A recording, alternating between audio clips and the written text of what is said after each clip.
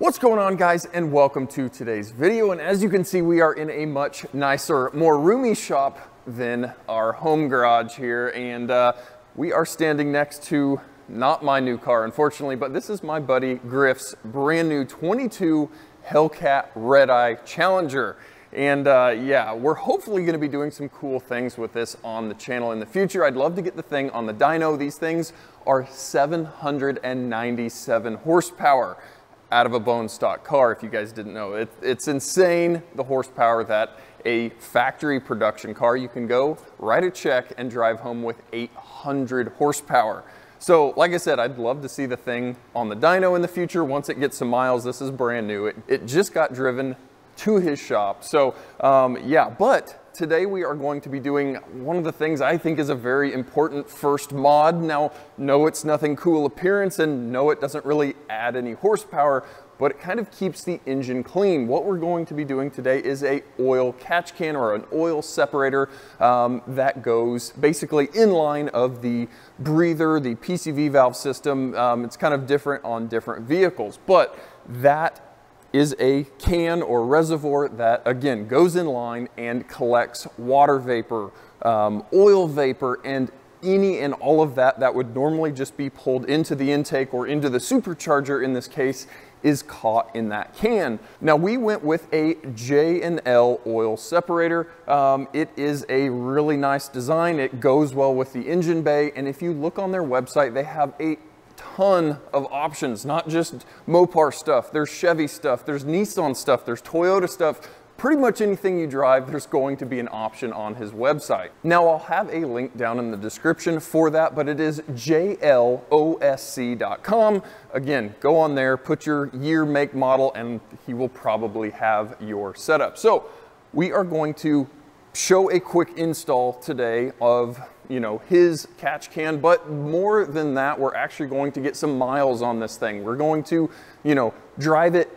It's not just going to be a normal boring install. Okay, here we're done. So for you guys, it's just gonna be watching the video, but we're going to install this today. Griff is gonna get some miles on this thing and then we'll actually pull the can and see what we've got. So uh, yeah, enough talking. Let's get this thing on the car. Now real quick guys, before we throw the catch can on, I thought I would show you guys the mileage just so we could see where we are starting at. So this car has a grand total of 60 miles on the odometer. So again, once he gets some miles on it, we'll be able to go in there, look at the odometer and see what it has now versus the 60 miles that it has when we are putting it on. Um, so it's kind of important or um, very beneficial to do it as early as possible to prevent any of that oil buildup, the oil deposits, all of that stuff that would normally just get dumped into the intake or supercharger. Um, working on the Mopar Jeep World, the 3.6 liter is pretty insane. Sometimes you can take those intake manifolds off the vehicle because you're doing a repair,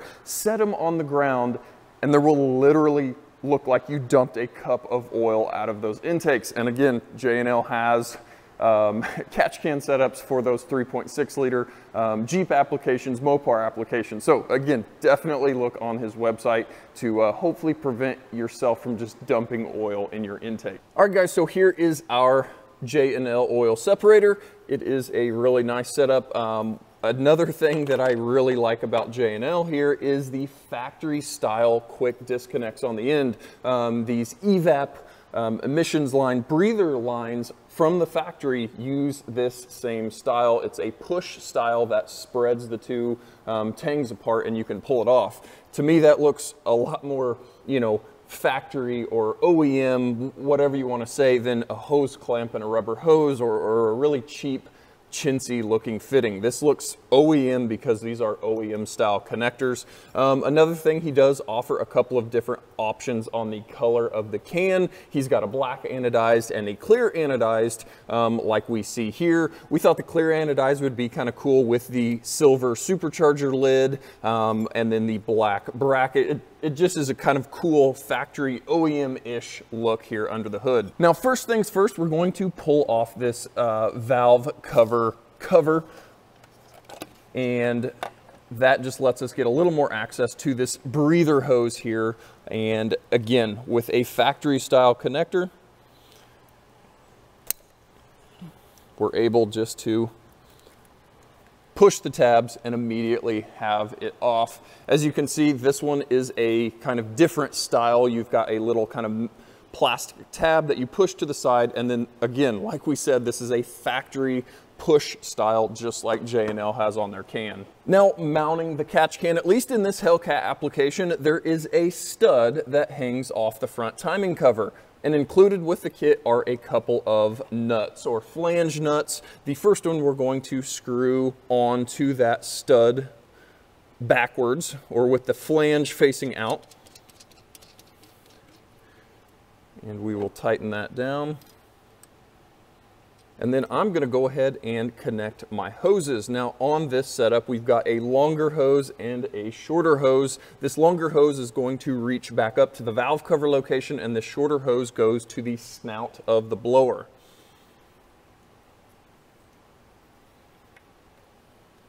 And now once we've got both of those lines clipped on, they again just clip on just like the factory lines came off, just with a push, and then they will snap on. We get the bracket slid over that stud, and we will get our last nut threaded on.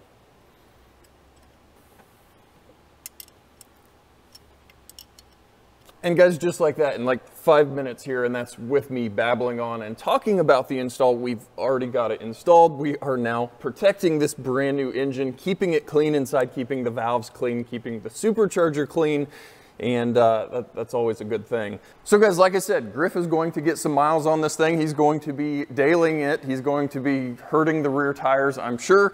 And uh, then we're going to pull the can off. We'll look at the mileage and uh, see how much we've already caught in this catch can in probably a very short amount of time. All right, guys, so here we are now about a month and a week later um, after our initial install and the car does look different because Griff, like me, can't leave anything alone. So this car has already got quite a bit of cosmetic upgrades or, or just a few. So we'll, we'll quickly look at those. And then more importantly, we'll pop the hood and see what we've got in this oil catch can. Now, when we started, we installed this catch can with 60 miles on the car. So we'll quickly jump in, look at that odometer. We'll look at this thing and see what we've already caught on this or in this oil catch can.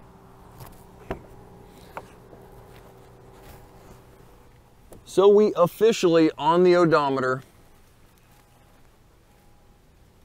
now have 896 miles. And again, like I said, Griff can't leave anything alone just like me. He's had the hood, trunk lid, and roof all wrapped in a satin black, kind of like the TA, but this does carry all the way to the front. We've got window tint, we've got little uh, splash guards here to keep some of the rock chipping off. But let's take a look at what we are all interested to see. Our J&L oil separator. How much have we got in 800 plus miles already here? So really nice, easy to check with the knurled bottom here on this thing. We'll pull it off and see what we've got.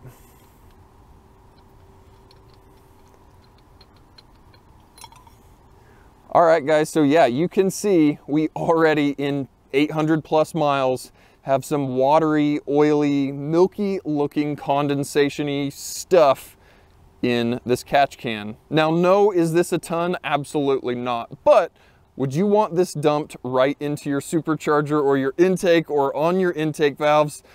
No, no, absolutely not. So guys, even with only 800 miles, our J&L oil separator is already doing its thing.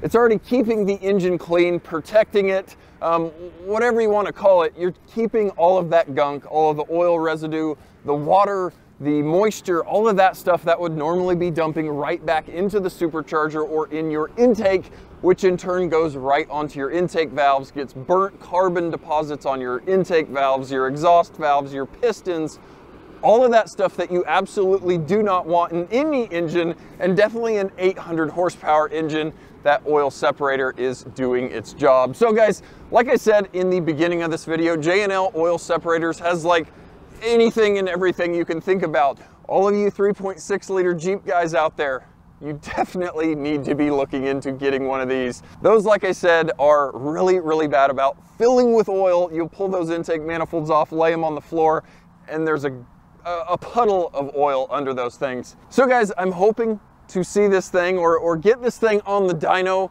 uh, later this year once we warm up a little bit and see what kind of power a bone stock red eye can make.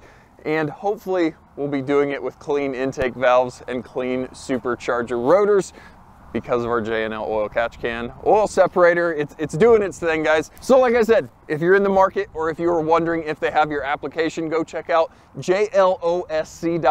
There'll be a link down in the description and get your own can and get your motor cleaner. So guys, as always, thanks for watching and we'll catch you guys next time.